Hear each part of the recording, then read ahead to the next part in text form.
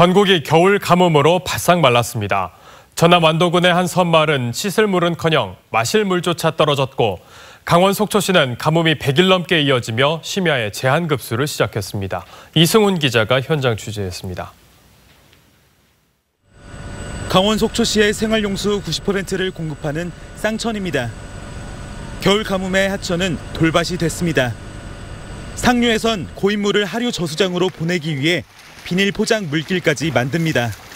상수 원통까지 오다가 다 깔아 밑으로 참 침수되니까 비닐을 깔아서 거기까지 원활하게 보내려고 지금 이런 노력에도 하루 사용량 만 톤을 대기 어렵습니다.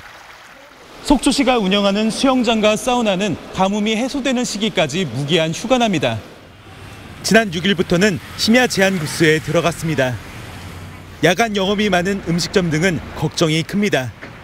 늦게 손님도 오시고 그러는데 물이 없으면 물이 받아서 쓴다 그래도 한계가 있거든요. 전남의 한 섬마을 공동 저수지도 저수율이 뚝 떨어졌습니다. 저수 용량 42만 톤 가운데 10%인 4만 8천 톤에 불과합니다. 열흘 단수 이틀 급수로 근근히 살아온 게 벌써 다섯 달째입니다. 모욕도 못하고 빨래 같은 거뭐 모아갖고 하죠. 물 나온 날은요 그 바쁜 일이 있어도 일을 안 가집니다. 물을 안 받으면 못 사니까. 당분간 큰 비와 눈 소식도 없어 겨울 가뭄이 해갈될 기미도 보이지 않고 있습니다. TV조선 이승훈입니다.